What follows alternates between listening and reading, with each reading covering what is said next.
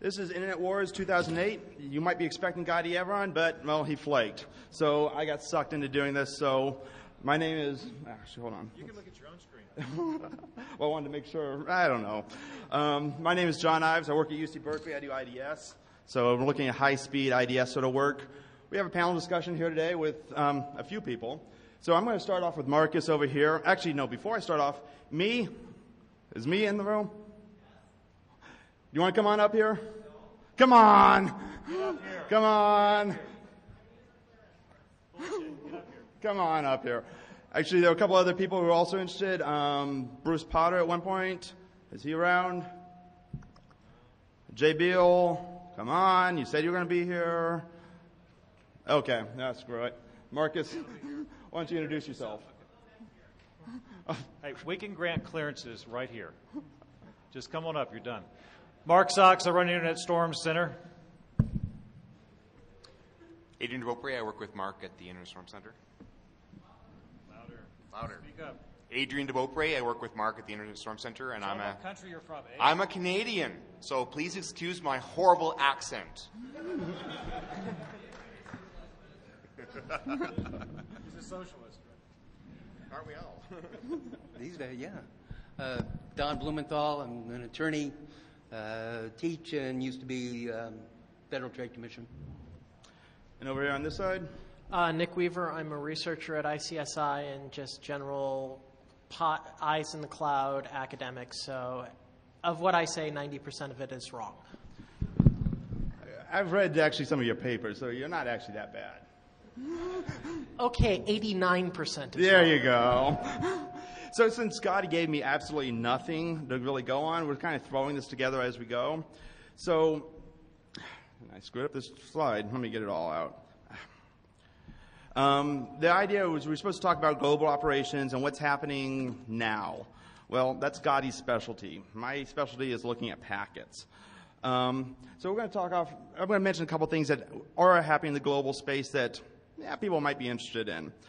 Um, recently, in the last couple of days, there's been a lot of blog traffic about some Russia versus Georgia cyber war. So far, it hasn't reached the level. uh, Dan, come on up. I've got beer.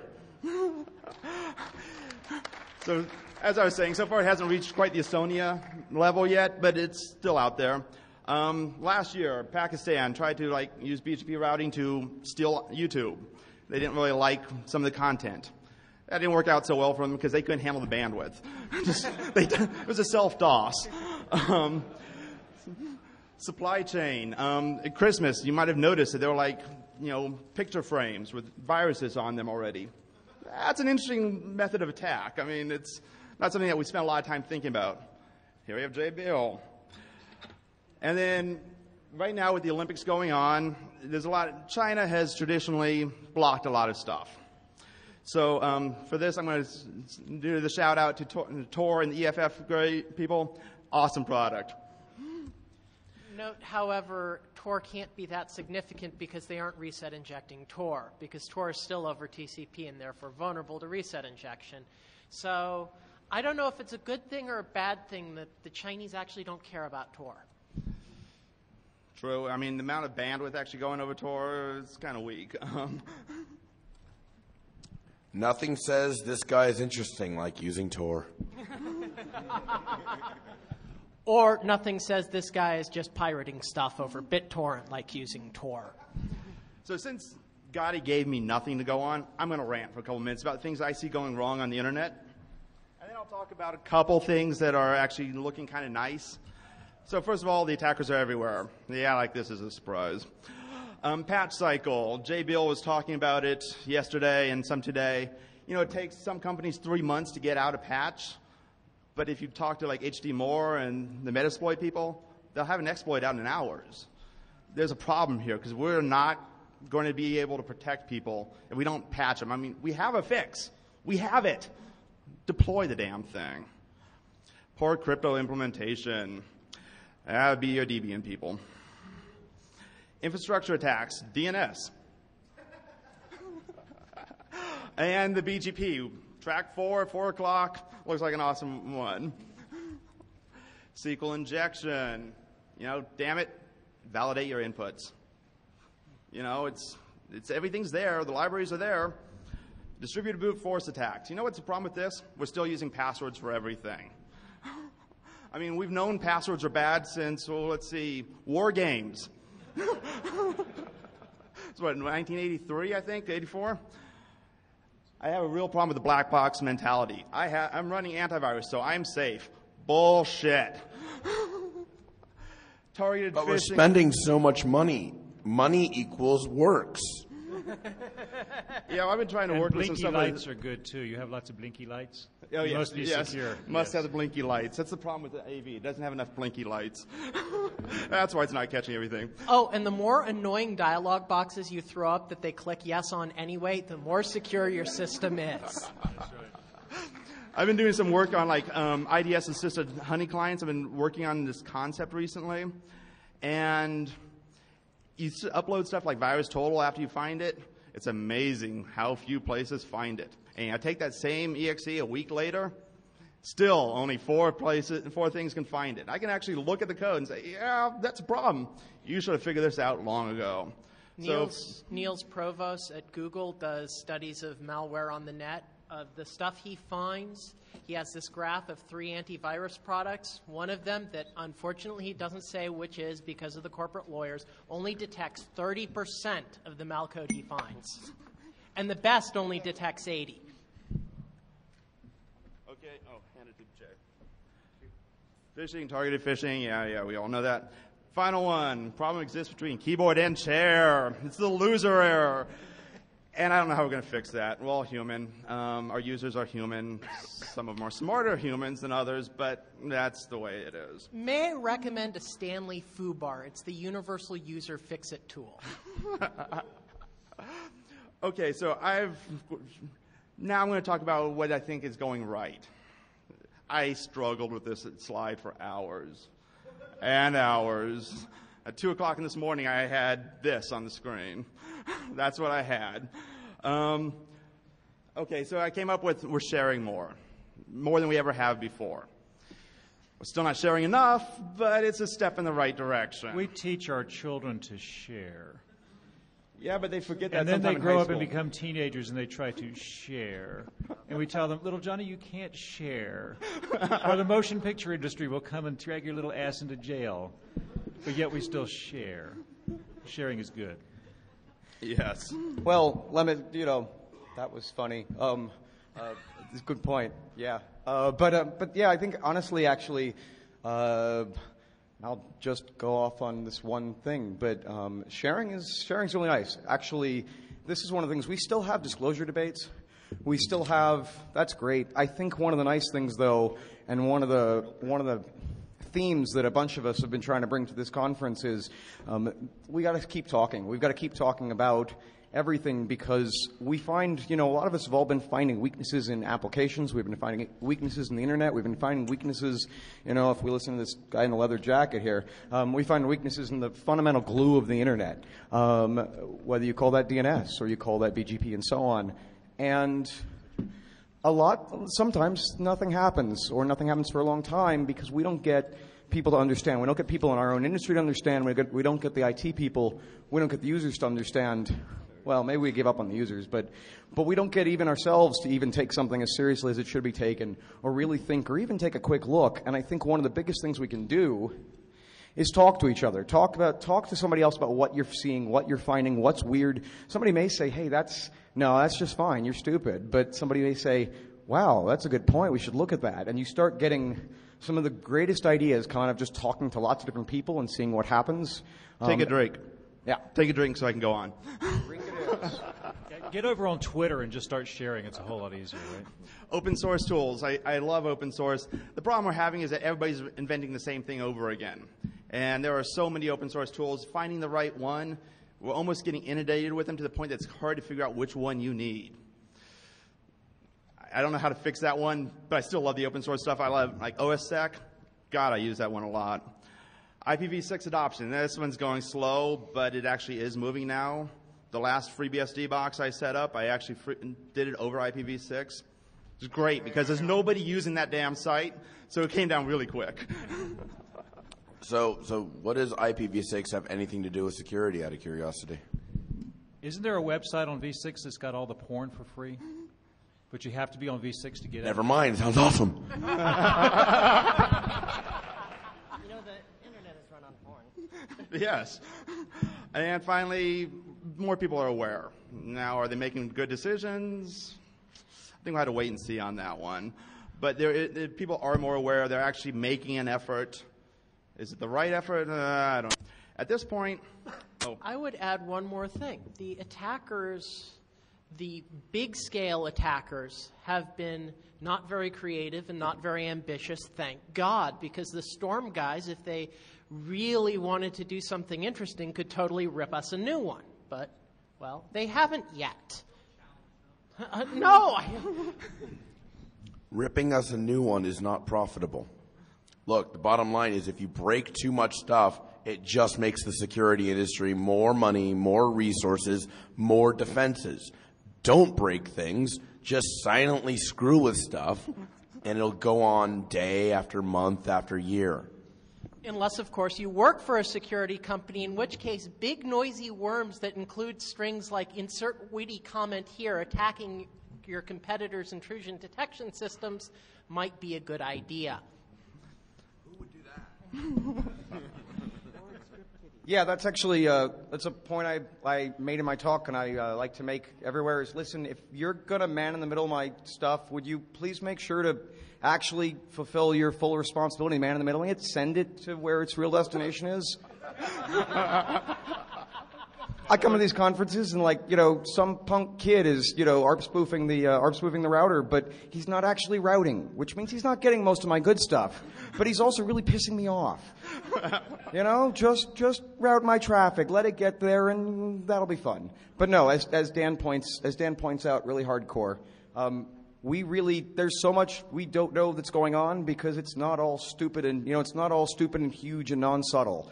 Um, and I think that's one of the things that we keep getting wrong in the security community at large. We keep forgetting that just because we haven't seen it doesn't mean it's not happening. Yeah, in fact, if you look at your outbound flows, if 90% of them are encrypted and they're heading to a country that you've never heard of, there's probably a problem there. Or one that I have heard of. Well, we won't go down that. Well, we'll go down that road. Let's Yeah. go down that road. Yeah. What country have you heard of, Jay? Well, it turns out I, I had a public school education, so not that many. but the but the letters RU and CN are really really interesting ones, and there's so many more. And CN is short for Canada, right? It is. It is That's what- absolutely. That's what they say. yeah. okay. So Don't mess with Liechtenstein. They'll they'll cut you. And the Vatican, they'll send your packets to hell. So at this point, we need some people to ask questions. You have a really good question, you get a beer. So come on, come on up. No, one thing is you're going to have to be loud because we didn't get speakers, we didn't get microphones for questions. What about it? What's wrong with the current one? So, yeah. Question to be repeated was what about Internet 2? When I hear Internet 2, I think of Chris Abad's Web 4.0, the Internet without idiots. it's a glorious dream, but it ain't reality. Hey, I'm on Or internet the too. other way is Internet 2 is a way for us wild haired academics to get a lot more bandwidth so we can get our porn faster. That's right. Optimized porn sharing. Yep. Who, who, whoever decided to rebrand high speed networking like more cables, more fiber as Internet 2. Brilliant. Brilliant, my hero. And then there's the Lambda Rail. Are your bits going down a Lambda Rail? And don't forget GENI, the ultimate place to hide your stash. So more questions. Okay, right up front.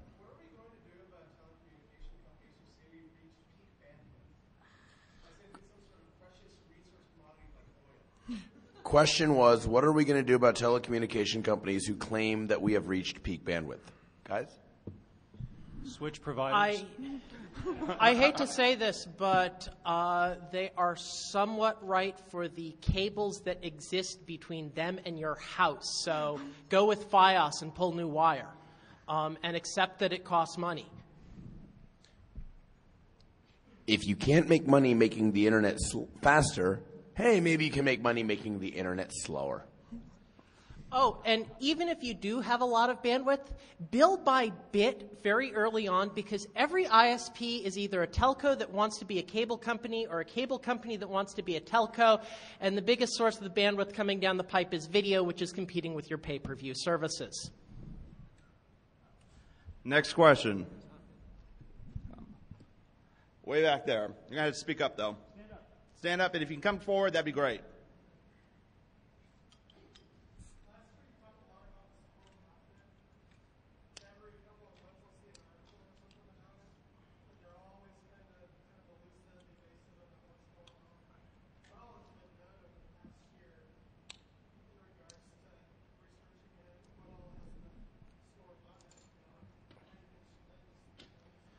The question. The question is research on the Storm botnet. Um, there's on been two big groups academically on it. Uh, San Diego and ICSI is one of them, and the other one is I can't remember which. Look at the papers in LEET. Um, there's a, basically the, there are multiple groups of researchers so up Storm botnet's control network that they're looking out its mouth. Um, there's another upcoming paper in CCS on the topic. So there's a lot of academic things on the Storm botnet control system and deeply understanding it. But it shows you how little the Storm authors care about it in that uh, they haven't done anything about it yet. And we poor academics are constrained because, yes, we could send out a command and make the Storm botnet evaporate into the ether, but doing so would get us thrown in jail. Okay, right up here. Why don't you stand up low? Well, hang on, you're close enough. Why don't you speak into the mic? Yeah.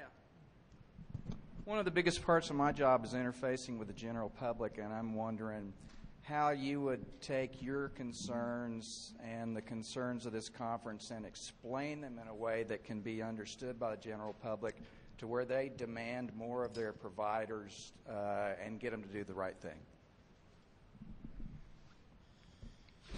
Well, similar to the uh, issues between Canadians speaking with Americans and vice versa, I think that people who speak tech or speak, even worse, security geeks, we don't speak a language that business people or politicians understand, and vice versa. We don't understand them really. When they speak, you know, that legalese nonsense, it's totally Greek to me. So, there, you know, the the uh, inability to communicate is just extreme, and, and it's not going to go away anytime soon. We, I, but it I did- would like to hope it's doable, but uh, we're geeks. We're all borderline Asperger's syndrome. Uh, so, Some of us not so mm, borderline. yeah. So I- I, I might think- have been doing some outreach lately. um, it's it's actually very interesting. I mean, as security professionals, we have asks. We have ways that we want the world to work, and we want ultimately other people to implement our desires. Look, if if I have if in the number of hours in terms of getting what I want, if I spent 0.001% of the total hours was me, that'd be shocking. Most of everything that I've gotten has been the work of other people. And if you actually want to have an impact on the real world, it's not about talking to your peers. It's not about high fives and cool stuff. It's about, hey, we as the security community believe that there is something that you might be interested in. And um, it's hard. Maybe it even gets you some crap. But if you want results, outreach is, is as much a duty as it is a, a, uh, a task to be performed. C- Consumer ad is a big piece of a piece of the process, um, and there are people who specialize in, in dumbing things down. If you're talking about consumers, and there are people who specialize in, in getting people together uh, to develop things such as enterprise security plans. Um, there aren't enough of them, and there are not too many people who talk at cross purposes still.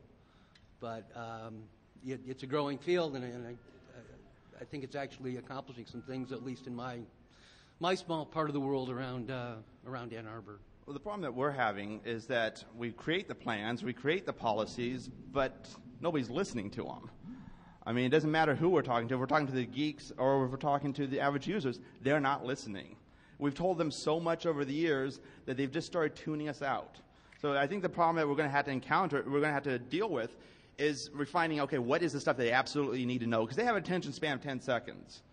And we need to actually get down to the place that we can give them, this is exactly what you need to know. Click the one that says update. you know? Well, uh, from experience with multiple clients and corporations, agencies, basically I tell them one, uh, one thing that makes them listen lawsuit. You're going to be sued. Your data, is posted on the site. It public uh, or your data has been circumvented or been accessed uh, un- by unauthorized people.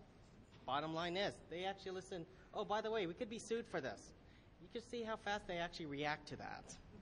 So, so hang on, hang on. Outreach is not about necessarily threatening people. Outreach is about communication, about shared desires and shared customers. If you just run up to people and say, I'm going to kick your ass, whether it's true or not, and we seem to be pretty good at making it true, that's not necessarily the best way to say hello to someone. I mean, uh, at least give people a chance to ignore you, especially especially if it's someone or an organization that has never worked with the security community. I mean, I want you guys to realize how bizarre it is to be approached by someone and say, "Hi, I know you're not paying me, but I've done some work that you would normally pay people to do and pay them a lot of money, and uh, you now have to do a bunch of things." But I'm not a customer, and I'm not anyone that would ever be a customer. Do what I say, or else. Let me tell you one more thing we need to fix, and this is on all of us. We as a community, security professionals, we don't speak with one voice. You get the business folks, those who don't understand where we're coming from, they hear 15 different opinions about what's happening. Think about when Dan put his patches out back a month or so ago. Immediately raped inside our little world. Media is running stories all over the place. Who do you believe? Who's telling the truth? If something comes out in the uh, the healthcare world, like the um, uh, SARS or things like that, the story's pretty much agreed upon. The medical community gets their act together before they go public. We've got to figure out how to get our act together. We've got to start speaking with one voice. Then we can begin attacking those who don't understand what we're talking about. But as long as we're in chaos, I, I don't think that there's any way that they're going to understand what we're trying to say, the message that we're putting across. Right up here. Right up here, yeah. Hang on, grab the mic. I've got- I've got two points to make, I guess. The first one is that there is a step beyond outreach, which is actually doing it yourself. Rather than just going to people and saying, oh, you need to do this, you actually either join them or partner with them and actually do it. I've done, I've done that myself in various capacities, and you know, you don't get as much airtime, you don't get the newspapers, but you actually get a lot more done. The second thing um, is, is more around what a lot of the security people seem to be doing these days, which is banging on about the problems. And I think that a lot of security people, yeah, fair enough, they find a problem, they should be fixing it. They should be coming out and saying, I found this problem, here's the fix, here's the patch, rather than just basically saying, right, we've notified Microsoft, we've notified all these people. Um, they should be partnering more, working with people to make sure that they're not just shouting about problems, they're actually fixing them. I have a, um, a campus of 40,000 IPs at any given moment and about 50,000 users. It's a little hard to actually come out there and fix the problem for them.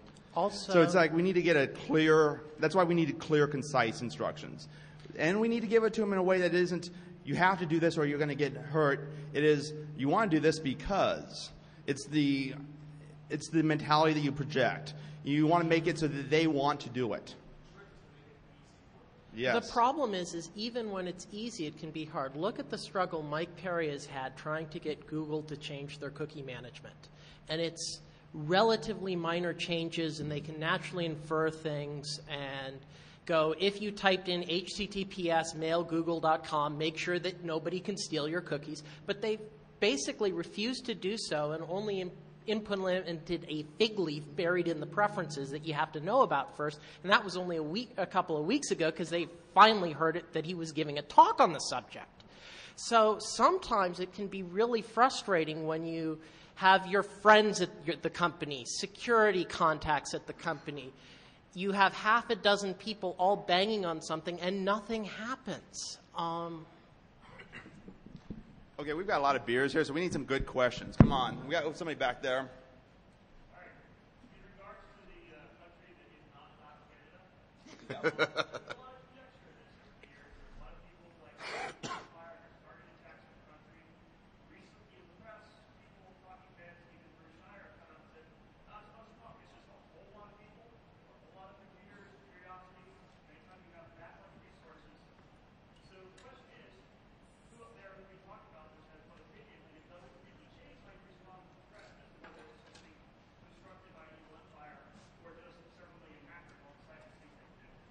I think it's hard to address. Hang on, hang on. um, Let's repeat the question.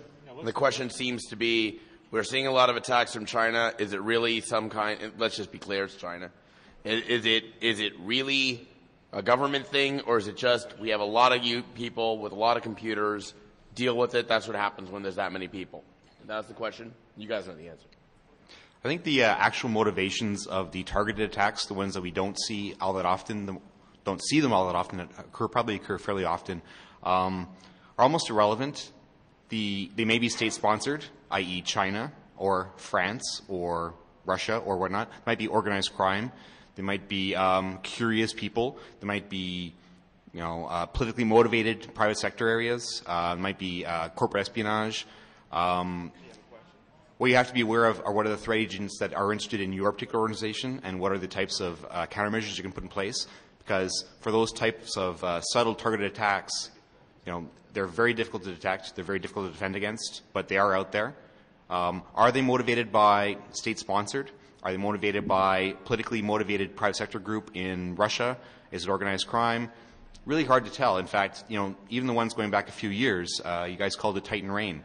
Was it really, really state sponsored China or something else? And there is no firm answer. No one really knows here. Probably someone in China knows, but they're not telling us.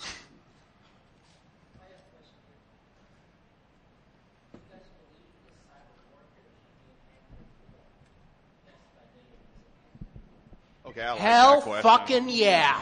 Well, I know the um, Personal opinion only. Repeat the question for him. the question was: Should cyber warfare actually be considered a class uh, as an act of war? And You know the- nmap me, I nuke you. well, I was talking to somebody here a couple days ago, um, and he, we were having a conversation. He was saying how the Russian government has basically said that cyber war, they actually treat that as ma- weapons of mass destruction sort of a situation, and they will respond in kind. They left it vague over how the in kind was going to be. So the Russian government is treating it as an act of war. Well, the Russians want us to sign a treaty with them. They'd like us to ban all of the hacking tools, make them illegal, pass laws to take it all away. They don't realize, of course, the most popular tool out there is a frickin' browser. Come on up here. This is. Let's See how that law is working in Germany? Exactly. ah. Mustn't do that. So somebody else, come on. We're- okay, we got one right back there. Well, let's start a line, like we nor- even if there's Yeah, a, why don't we start phantom a line microphone. over here to make it a little easier? Phantom microphone. Now, when we run out of beer, we run out of beer. Unless you have a really good question, then maybe you can see me afterwards, and I'll see about it. Are we allowed to steal more beer? Yes. I actually. But you have to ask a good question. Yes. Hey, the panelists can. Panelists can drink all they need in order to actually do, to talk right. Go for it. I, I am just not drunk enough to secure the internet right now. Ah, come here, come here.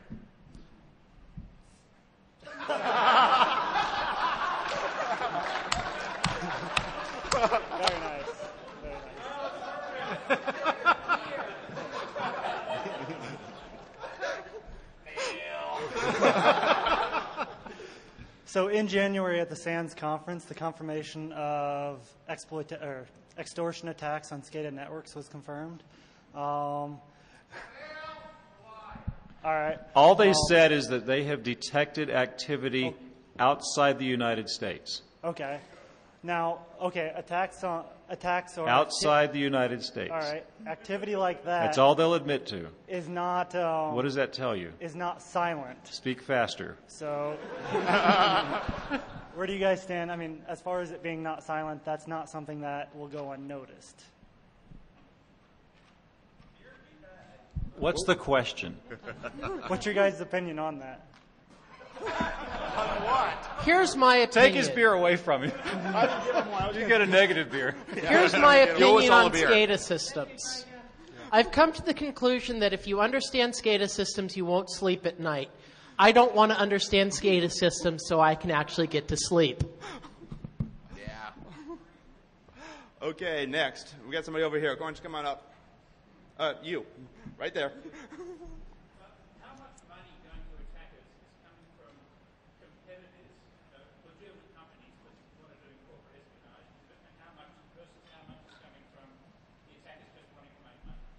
I have no idea. Hang on, hang on. We got to repeat the question. The question was how much of the actual, how many of the actual attacks are being funded by com- business competitors in an act of industrial espionage versus, I don't know, people who just like breaking into things for no apparent profitable reason. You know, to quote unquote, make money themselves. Yeah, what makes that hard is there are nation states out there that are doing corporate espionage on behalf of the corporations in that country. So how do you know if it's legitimate, if it's RBN, if it's an individual company? It's that attribution problem. What we do have is we have at least one data point, which was the uh, the Israeli Trojan, which was uh, Visual Basic. Dude writes a freaking Trojan in VB about the least leet hack that has ever happened in all time. It was written by Gadi. He's not here to defend himself, so I'll say yes, it was. Silence equals consent. So this Israeli Trojan guy writes, he's like, "How am I going to get it anywhere interesting?" He freaking puts it on a CD and has it run via auto run and sends a mail to 50 top executives, as it's like literally just a package with a very nice and friendly message that says, "Hello, sir. I, uh, I have a presentation of a business proposal. I would very much appreciate if you take a look." And by sending the mail, he got around every firewall, every defense, and it ran by default. So, he didn't stop there. He now had 50 top executives' machines. And he starts renting them out for like 15,000 British pounds a month for three years. This is Visual Basic. Poning yo sh- That was definitely Gadi who wrote that. So, was this, you know, some random guy looking to make money? Was it industrial espionage? Do the lines matter? Do the lines even make sense anymore? It's 2008. The game is about monetization. If you can monetize VB, you can monetize anything. Next question, right back there.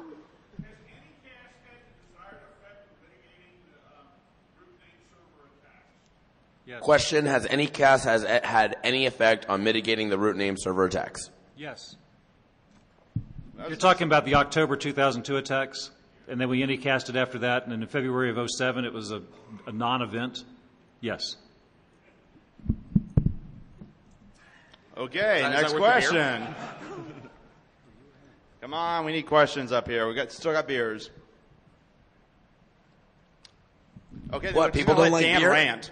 Or can we just rant, right? So, you know, how, how can we complain about how the internet performs when it actually operates as designed? There is no, you know, way to fix the internet. Well, it operates exactly how it was supposed to operate. So what we really need is a solution to fix the internet. So how do we actually come up with real solutions to fix? We build new people. We can't change the internet. So. So no Not- patch, for, no patch for stupidity. Malice Yeah, is patch a eight. feature. Okay, we got a question right here. Why don't you hand him the mic? Yeah. Not to uh, bring up a topic you guys seem to not really want to talk about, but I'm a SCADA geek, and no, I don't sleep very well at night. but uh, what do you? What does the panel feel uh, should be our policy, kind of as a community, and then also as a country? And I know some of you are international. Sorry, Canada, but uh, Yeah, the 51st state, Canada, uh, with using SCADA attacks for attack and defense. I mean, I've seen tons of SCADA systems, and I'm, my biggest fear is that we're going to go out and hack somebody with SCADA attacks, and they're going to come back after us, and we're boned if that happens. Just in case anyone doesn't know, it'll be a mess. I, I want to I want to answer that question by not answering that question, which is to say, uh, the first thing I'll say is if anybody here is, owns any SCADA, uh, uh, and that's either version of the word, that's exactly either ver- either either either meaning of the word own. Would you please take it off the internet? Yes. Please, for the love of But God. Jay, when they put Modbus on TCP and you go to IDA uh, website, and even on there it says, why did we put this into, into TCP? They say, so that the engineer can work on the, the nuke essentially from home. It saves money. They don't have to go in to, to evaluate their devices, so that I can manage from one country to another. This is on their website today about these SCADA protocols running across the internet. How do we get around that, that I'll- kind of mindset? You're going to head back to your farm in southern Pennsylvania, right? Um, I've been tempted to get a cabin up in the Sierras uh, with a solar off grid and uh, a couple of acres of uh, arable land. Um, the other thing is, Davis-Besse nuclear power plant in Ohio got its control system taken down because of Slammer, which got onto a system through a VPN of a subsidiary contractor, some other crap like that. If you can't keep nuclear power plants from getting infected by the most obnoxious worm on the planet, um, Well, you know, it We're doesn't even fucked. take that. That's Somebody- what the um is. We're fucked. Somebody in a car yesterday hit a telephone pole near Memphis, knocked out the uh, FAA Traffic Control Center because they cut a fiber optic that was above ground for crying out loud. Stupid. yeah, yeah, the intertubes are fiber optic, yes. So there, there is a great quote. Uh, all networks are connected, just the bandwidth varies. all systems are not necessarily easily reachable to the internet, but all systems are reachable from the internet. Yeah, if there's an electrical path, they can be owned. Like undersea cables from in Russia. Okay, we got one person back back here.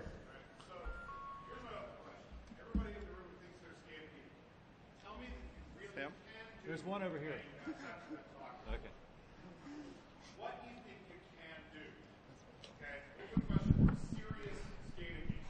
Come use the mic.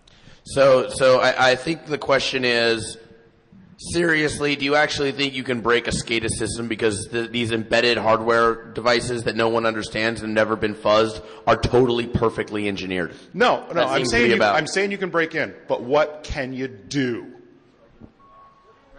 Safety is a global system property.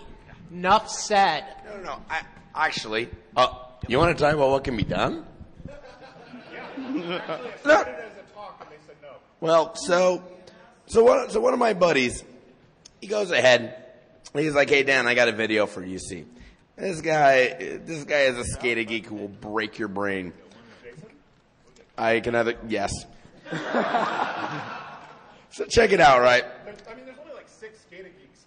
All right, all right, all right. So, so check it out, right? Um, he shows me a, a so shows me this chemical mixer, and it's just sort of sitting there. And uh, they they move the camera over, it's like a kind of edited video to the operator's display, and everything is looking great and fine and wonderful. Yeah, that's because they ARP spoofed in front of the operator's display, and we're showing them great and normal and wonderful telemetry. What was really happening was the ultimate buffer overflow, by which I mean white fluid overflowing up out of the chemical mixer and spraying down all over the entire place. And this goes on for about 10 seconds when the lights go out because the, uh, the, the power was shut down in the, uh, in the fake factory. If you want to So- with them, you need a mic. Oh, yeah, yeah, yeah, go for it. Go for it. Um, that was an X Windows hack, not a SCADA hack. Uh, we've had X Windows hacking for a while now, guys. Does it matter? Yes. I, I, no, I, no. Because it's not Modbus. It's not Modbus hacking. It's not distributed control hacking. It's not shit. It's not even SCADA hacking. These guys are showing industrial control systems for minor plants. So- Can you take down a power grid from the internet? No. So here, here's the thing. Let me, let Not- me, let me, not let me via let me- SCADA, let not me- via ICCP, let me- not let me via clar- DNP3. What, what you just said is but that's not my fault. Those aren't my protocols. That's someone else's fault, and that's okay. I mean, you can say that.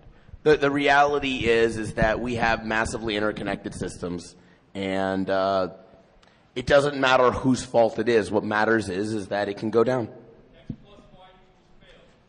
Look at it this way the Davis-Besse nuclear power plant in Ohio. What if it wasn't Slammer? What if it was a code agent acting on behalf of somebody wanting to fuck up that nuclear power plant? That is, by my definition, would be a SCADA attack. Question. Your, your, I, I got moved up. No, no, I got, so I got a I don't know how the hell that happened. I, I got a question for you. And I mean, I don't know the answer to this. This is a just, I'm clueless. I might. What happens when you dumb fuzz SCADA devices? Uh, generally, they um, stop. How good is it for devices on SCADA networks to just stop? Uh, generally, that's not a problem. Okay. I, I mean, I, I hate to say it that way, but generally, it's not a problem. If a process goes into a fail state, the process fails and the process stops. What you need to be able to do is you need to be able to take control of the system and do something with it. And- if you and just you- stop it, like just DOSing the system, the cookie plant knows how to shut down. It doesn't make Oreos that kill you. What happened at Hey, wait, wait, wait. I like that line. The belt How, just how, hey, stops. how, how long was the cookie plant shut down for? I don't know, day, two days. You know what? The same thing Wasn't it shut down a month? Same thing happens Wasn't when it shut down a month? Ah, maybe. In Oh. any case, but wait, the plant That's right. shuts, the plant shuts for down month. for a month when Edna drops her finger into the cookie machine. so you know. Oil pipelines. What about rupturing? What happens then? Generally, you can't rupture those through the control system. Generally speaking. Generally is only, what, 90% of the time? It's Uh, the other 5% yeah. that I'm worried about. What, what, what you're talking about is you're talking about being able to take control of the process.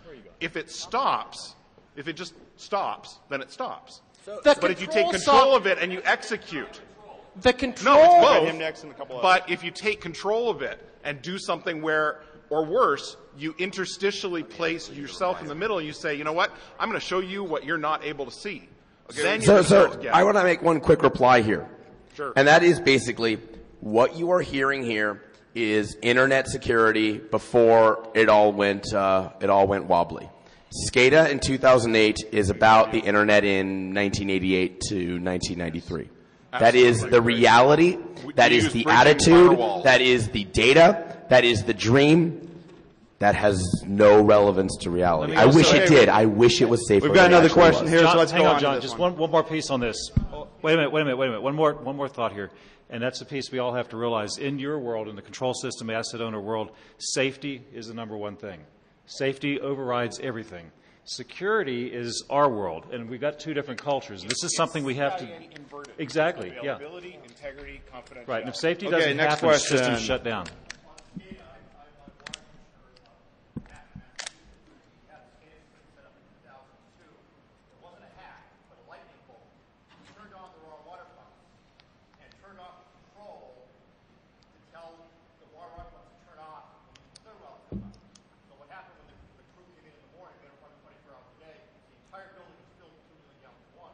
Two million gallons? Not bad. From a lightning strike. Oh. It's a DOS. Yeah, God hacked you. Okay, we have. Actually, I'm going to get the guy behind you because you already had a question. I'll come back to you if we have time.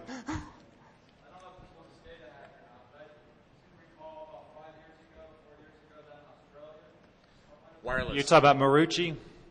That was wireless. Maroochy, yeah, the the guy who used to work there is a contractor.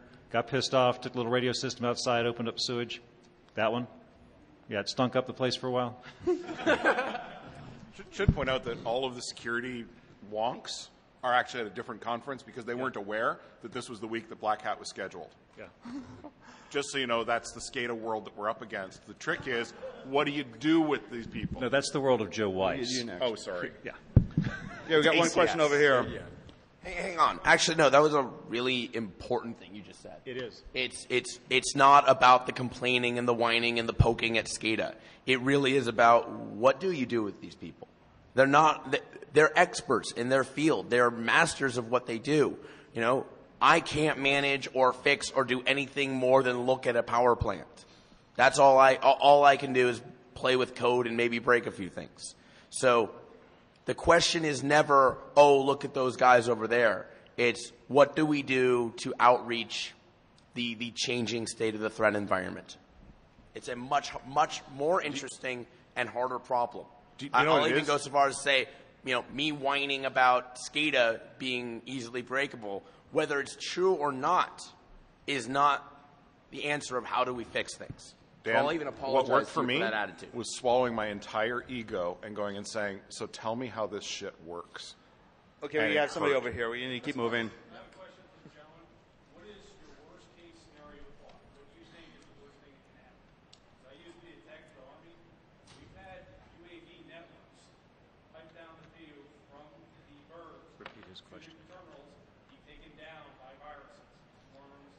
So the question is, what is the worst case scenario? This is Okay. SCADA, right? So asking que- SCADA The- questions. the- yeah, the- worst the- case scenario. The example was losing all the video for a UAV network, which Yes. would um, make it hard to pilot. Yeah. Wor- Worst case People scenario. can die. That's a worst case scenario. Wor- Worst case scenario, um, the operators lose visualization, correct visualization of a significant power grid for more than four seconds. But he was talking about specifically in like operations for like military. People die at that point. Yeah, well, if you if the operators lose visualization for four seconds, Safety first. people die. This is Uh, this because is that's called the blackout. Yeah, pretty much. This is where this is where and this is just one of many things I'm trying to bring up, but this is where I keep getting into man in the middle attacks of any sort. Any any my, any ability for me to we always I, I've been ra- I've been kind of ranting on this a little bit, but uh, confidentiality. We all get into confidentiality. We all get into availability, and a lot of our thought here has been in availability, but integrity. Oh God, is that the one we don't talk about so much? And oh God, is it the fun one to play with? If I can give the operators one view, if I can give the operators just, you know, like in the movies, if I can give the operators one view and the reality is something different, then that's where things get really fun because then I'm not fighting with anyone. Then I'm just simply doing whatever I want and hoping I can keep pulling that Okay, off. We're down to like five minutes. Now, a quick one on integrity because he's been talking about it all weekend. I used to work in the College of Chemistry there, and if you would get the wrong, if somebody were to break in and change the formulas for some stuff, you can have some real shithead happenings. So integrity. From OChem class, just having some idiot cross contaminate the reagents is a pain when the vessel opens and you get something close to tear gas. There you go. Okay, another question. 'Cause I'm going to drink all the beer if I have to. So come on, ask a question. Actually, I've got one in my hand if I have to, and we have one over here. Though I'm thinking, I'm getting really close to drinking this one. So, so- okay, Dan has a comment. He always has a comment. I think we need to make, I think we need to stop presuming when we ship software that we're done. That software has an endpoint that is when the box leaves the room. Okay, I'll grant him that one. And, and I believe that ultimately the serviceability problem, which is how do you fix things when you screw up, and you will. It needs to stop being a surprise, stop being a, oh my god, we did what, and start being, we're gonna ship it, and it's going to have problems as much as we tried for it not to. And how do we make it so that these things can be easily updated and, and fixed?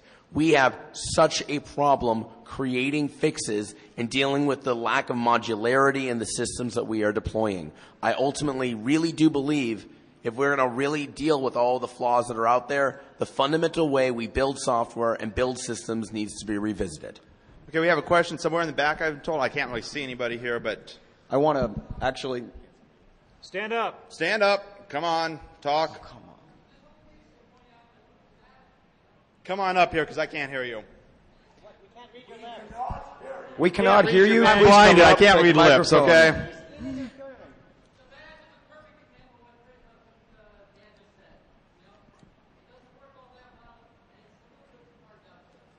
We won't tell Joe you said that.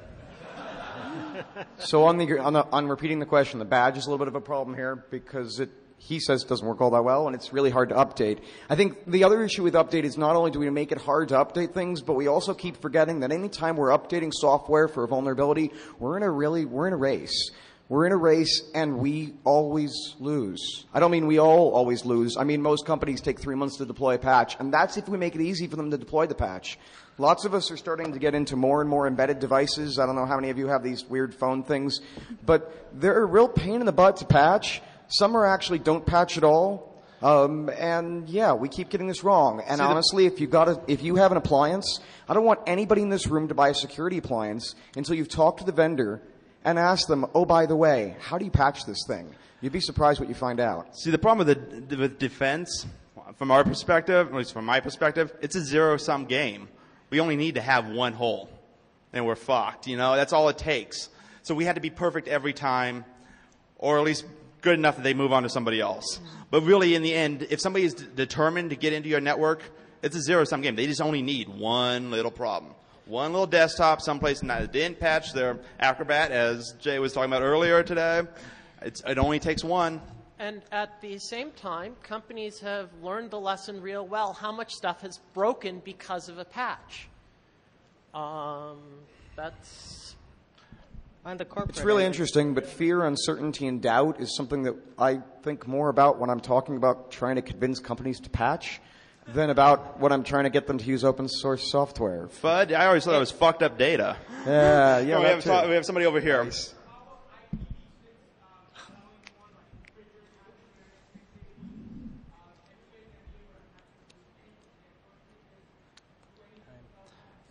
I think I'm about to get cut off here. Well, everything's already connected to the internet Hopefully they won't cut off our in mics. IPv4, It's just all through NATs.